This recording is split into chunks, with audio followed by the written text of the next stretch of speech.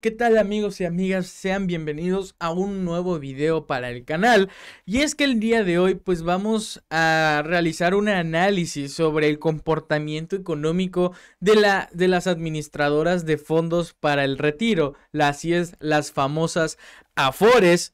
Eh, aquí en México sobre todo, y es que particularmente nos vamos a centrar en los eventos más recientes de este mes en 2024, de abril de 2024. Eh, ¿Por qué este mes fue significativo? ¿Por qué? lamentablemente no por las razones que todos esperaríamos, pero es que es un tema que sin duda alguna había que cubrir y hay que tocar en este caso. Y es que las Afores en este mes de abril de 2024 pues sufrieron las minusvalías y esto por 100.146.4 millones de pesos. Esto borrando todas las plusvalías acumuladas durante el primer trimestre de este año. Y es que hay que ver también su impacto en el sistema de ahorro para el retiro y cómo también se está previendo que evolucione este escenario en los próximos meses. Y es que estas AFORES son instituciones pues financieras que administran el dinero destinado a la jubilación de los trabajadores aquí en México. Estas instituciones invierten en una variedad de instrumentos financieros eh, esto predominando los bonos de deuda gubernamental mexicana, también como los certificados de las teorías de la tesorería. Un error. También como los certificados de la tesorería de la federación, las CETES, y los bonos de desarrollo del gobierno federal denominados como unidades de inversión o los famosos unibonos. Pues en los primeros tres meses de 2024, pues estas Afores registraron muchas plusvalías, esto gracias al desempeño favorable del mercado de deuda mexicana, esto impulsado por las expectativas de recortes de las tasas de interés. Sin embargo, llegamos a abril de 2024, pues esta tendencia se revirtió bruscamente de un giro de 180 grados inesperado, pues debido a una caída en los precios de los bonos de deuda aquí en México y también a nivel mundial, pues la principal razón detrás de esta caída, pues fue que la, expectativa de que el proceso de recortes de las tasas de intereses, pues se va a prolongar más de lo inicialmente previsto, pues en abril de 2024 estas Afores sufrieron una pérdida significativa de valor de sus activos con minusvalías, como dijimos al inicio del video, acumuladas, estas minusvalías acumuladas de 100 mil millones de pesos, esto pues no solo borró todas las ganancias del primer trimestre, sino que también resultó en un saldo negativo acumulado de 31.800 millones de pesos en lo que va del año. Esto según datos de la Comisión Nacional del Sistema Ahorro para el Retiro de CONSAR, como se le conoce también.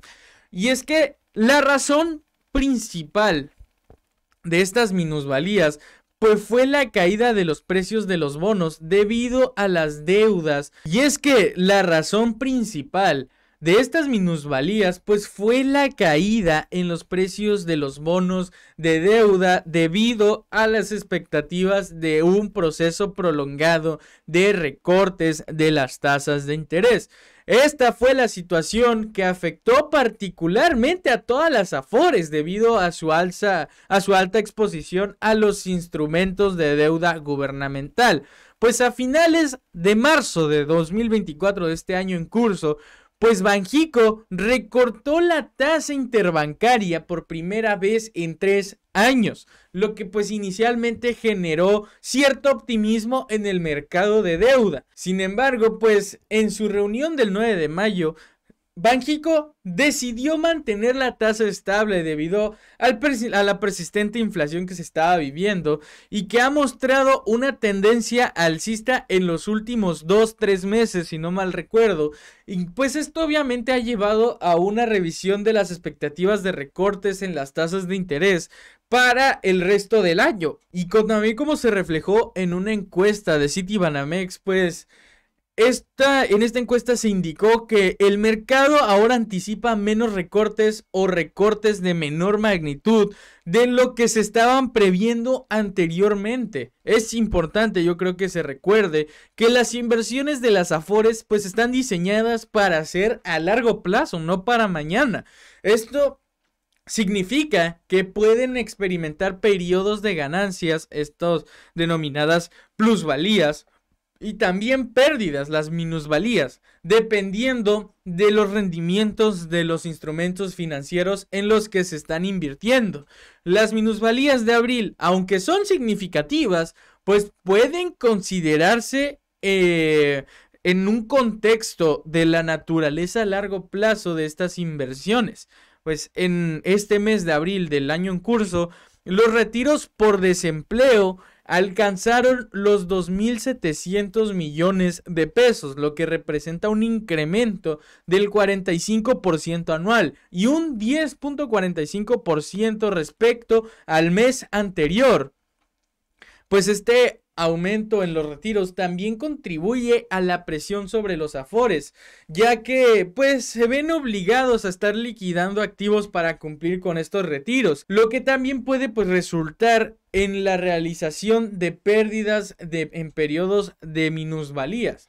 Estas afores que se registraron pues más retiros en el tercer mes del año fueron en Banco Azteca con 501 millones de pesos, seguido también de City Banamex con 523 millones de pesos y 21 Banorte con 458 millones de pesos. Esto por otro lado, estas las Afores que tuvieron menos retiros, en este caso fueron Pensioniste con 10 millones de pesos, Inbursa con 56 y también Principal con 124 millones de pesos. Esto, pues, en un contexto mirando hacia el futuro, es crucial que se monitoreen las decisiones de Banjico y la evolución de la inflación mucho más de cerca, ya que pues estos son los factores que han estado afectando y sin duda alguna van a ser determinantes para el rendimiento de los bonos de deuda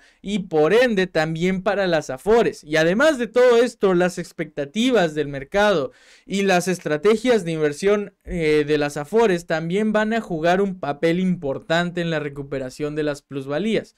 Ya para resumir este video, pues este comportamiento económico de las afores en este año 2024, pues ha estado marcado por una volatilidad que se ha, pues eh, mucha gente se ha dado cuenta, y esto no hay que esconderlo, porque han sufrido muchos cambios eh, abruptos de entre plusvalías y minusvalías en este mes de abril. Y aunque la situación actual presenta varios desafíos, pues es fundamental que se mantenga una perspectiva a largo plazo y considerar que las inversiones en las Afores están diseñadas para sobrellevar estos periodos de fluctuación. Pero bueno, si les gustó el video no olviden dejar su like, no olviden suscribirse. Mi nombre es David Ramírez y nos estamos viendo como siempre en el siguiente video.